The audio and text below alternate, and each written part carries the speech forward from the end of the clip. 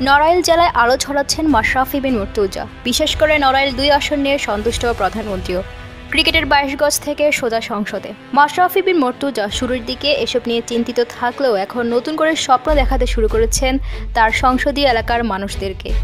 Corona ক্রান্তিকালে শুরু থেকেই নিরলস কাজ করে যাচ্ছেন মাশরাফি বিন মুর্তুজা। কোথায় কী সমস্যা, সেটি দ্রুত সমাধানের জন্য কাজ করছেন সেখানকার প্রশাসনের সঙ্গে একাত্ম হয়ে। তাই সমাধানও মিলছে দ্রুত। নিজ অর্থায়নে রিক্সা, ভ্যান চালক, রাস্তার পাশে চা বিক্রেতা, হকার, এমন পাঁচশোর বেশি পরিবারকে খাদ্য সহায়তা দিয়েছেন।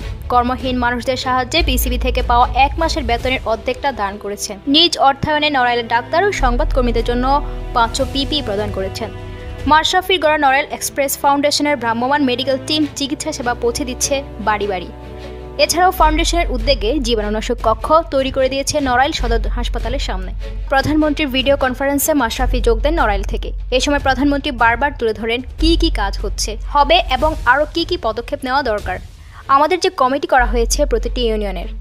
প্রায় বাইশ থেকে তেইশ জনের। এক এক ইউনিয়নে আশা করছি প্রকৃত যাদের প্রয়োজন ত্রাণ সামগ্রী তারা দ্রুত পেয়ে যাবেন। ইতিমধ্যে নড়াইল সদর হাসপাতাল উন্নয়নের জন্য আপনার দপ্তর থেকে চিঠি এসেছে। আপনি জানেন হয়তো আমাদের আড়াইশো সজ্জার কাজ চলছে। কিন্তু এই মুহূর্তে কাজ বন্ধ। মাননীয় প্রধানমন্ত্রী, আপনি জেলা পর্যায়ে যদি এই সংকটে আইসিইউ করেন বা আমাদের যদি একটা আইসিইউ হয় বা আপনি করার সিদ্ধান্ত নেন, আমরা যে কার্যক্রম করছি, আশা করছি আরও সফলভাবে প্রতিহত করতে পারব। আরেকটি বিষয় আমি তুলে ধরতে চাই। ডিলারের মাধ্যমে আমরা নয়শো কেজি করে চাল পাচ্ছিলাম। সেটা কমিয়ে তিনশো কেজিতে আনা হয়েছে। হতে পারে এটা ট্যাকটিক্যাল সিদ্ধান্ত। আমাদের এখানে অনেক গরিব মানুষ আছে। আপনি যদি জনসংখ্যার বিচারে এইটুকু করেন, তাহলে আমরা কিছুটা উপকৃত হব। এ সময় প্রধানমন্ত্রী বলেন, তুমি ভালো কাজ করছ। মুক্তিও ভালো কাজ করছে। দুজনেই ভালো কাজটা চালিয়ে যাও। তাহলে নড়াইলের ভালো হবে। এই মুহূর্তে টিআর কাবিখার বয়স্ক ভাতা থেকে শুরু করে সব সাহায্য একই সময় চলে যাচ্ছে। এটা যেহেতু একই সময় না যায়, যেহেতু সামনে রোজা, এটা কেটে নেওয়া হবে না দেওয়া হবে। আমরা রমজানকে কেন্দ্র করে আরেক দফা দেব। সেটাকে তা একটু ভাগে ভাগ করে দেওয়া হচ্ছে। দেশে এখন পর্যন্ত করোনা আক্রান্তদের মধ্যে বাইশ ভাগেরই বয়স একত্রিশ থেকে চল্লিশের মধ্যে। একুশ থেকে তিরিশ বছর বয়সে শতকরা উনিশ ভাগ এবং একচল্লিশ থেকে পঞ্চাশ বছর আছেন শতকরা উনিশ ভাগ। আরও স্পষ্ট করে বললে, বাংলাদেশে করোনায় আক্রান্তদের প্রায় ষাট ভাগের বয়সও হলো পঞ্চাশের নিচে। বাংলাদেশে তরুণদের উপর করোনা এত আগ্রাসী হওয়ার পেছনে বেশ কয়েকটি কারণ রয়েছে বলে জানাচ্ছেন বিশেষজ্ঞরা। সে কারণগুলো হচ্ছে, সোশ্যাল ডিস্টেন্সিং না মানা বাংলাদেশের তরুণরা সামাজিক বিচ্ছিন্নতা সঠিকভাবে মানছেন না। দেখা যাচ্ছে তারা কখনো বাসার মানুষের প্রয়োজনে, কখনো বা নেহায়েত মনের আনন্দে ঘুরতে বাইরে বেরিয়ে পড়ছেন।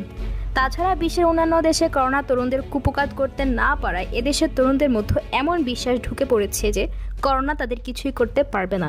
মূলত এই মানসিকতা থেকে তরুণরা ঘরের বাইরে বের হচ্ছেন। আরেকটি কারণ হচ্ছে ধূমপান করা। ধূমপান করোনায় আক্রান্ত হওয়ার একটি বড় কারণ। বাংলাদেশের বেশিরভাগই তরুণ ধূমপাই ফলে তাদের মধ্যে করোনায় আক্রান্ত হওয়ার হারও বেশি। অন্য একটি কারণ হচ্ছে পুষ্টিহীনতা ও রোগ প্রতিরোধ ক্ষমতা কম থাকা করোনায় আক্রান্ত হওয়ার সবচেয়ে বড় কারণ।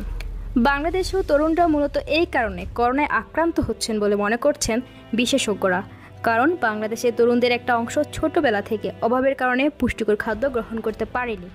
আরেকটি অংশ আছে যারা পুষ্টিকর খাবার না খেয়ে জাঙ্ক ফুডে আসক্ত হয়ে পড়েছেন। ফলে তাদের রোগ প্রতিরোধ ক্ষমতা কম। এই কারণে করোনা তাদের কুপকাত করতে পারছে। প্রিয় দর্শক এনে যদি আপনার কোনো মন্তব্য থাকে কমেন্ট বক্সে জানিয়ে দিন। আর ভিডিওটি যদি আপনার ভালো লাগে, তাহলে শেয়ার করতে ভুলবেন না। নিত্য নতুন খবর খবর ও আপডেট পেতে আমাদের চ্যানেলটি সাবস্ক্রাইব করে সাথে বেল আইকনটি বাজিয়ে দিবেন। আজকের মতো এখানে বিদায় নিচ্ছি। Thank you